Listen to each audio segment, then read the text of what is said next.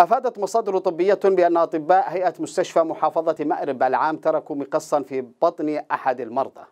وذكرت المصادر أن الأطباء بالمستشفى نسوا المقص أثناء إجراء عملية جراحية لأحد جرحى الجيش وأن صورة الأشعة كشفت ذلك. وأوضحت المصادر أن هيئة المستشفى فتحت تحقيقا عاجلا في الحادث وسيتم رفع نتائج التحقيق وإعلانها للرأي العام قريبا.